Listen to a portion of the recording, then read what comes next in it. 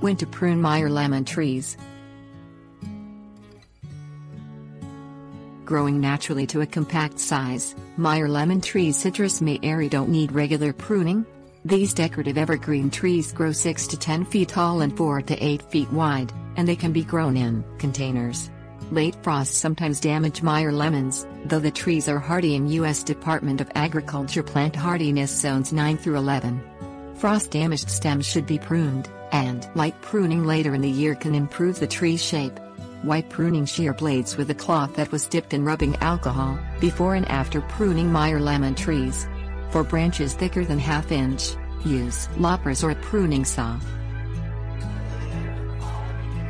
Waiting for signs of frost damage. Frost damage on Meyer lemon trees may not be noticeable until late spring. Meyer lemons grow best in climates where temperatures range from about 58 degrees Fahrenheit at night to about 72 degrees Fahrenheit in the daytime. Frost damages leaves, stems, flowers and developing fruits, and prolonged or severe frosts can affect large areas of trees. Wait until new growth appears before pruning frost-damaged Meyer lemon trees. Some stems may seem to be damaged but sprout new leaves other stems may look fine but have died. If you're unsure whether a stem is alive, scrape the bark back with your thumbnail. The wood just under the bark of living stems is green. Pruning frost-damaged stems Pruning frost-damaged stems on Meyer lemon trees in late spring helps prevent diseases and improves the tree's appearance. Frost-damaged stems are sometimes dark and may look shriveled. They also don't produce new leaves when the rest of the tree is growing healthily.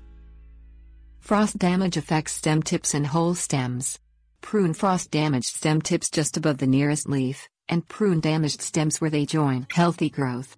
Pick off blackened, or discolored, wilted leaves, flowers and fruits.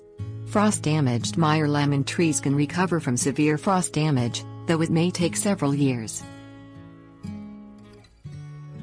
Shaping Meyer lemon trees Meyer lemon trees occasionally benefit from light, late summer pruning to improve their shape.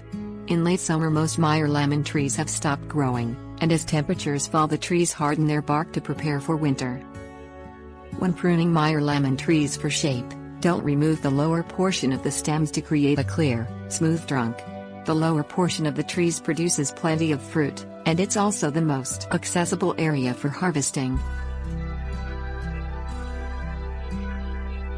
Pruning in late summer. Pruning Meyer lemon trees in late summer involves removing stems that are overly long, crossing or generally spoil the tree's shape. Meyer lemon trees growing as a hedge can be lightly clipped in late summer. When there is no fresh, new growth on the trees, prune overly long stems at the desired length just above an outward-facing leaf. Prune crossing stems and stems that spoil the tree shape or they join the rest of the tree. To clip a Meyer lemon tree hedge, prune stems at the desired length just above the nearest leaf. Don't cut leaves in half because this creates a rough, unattractive effect.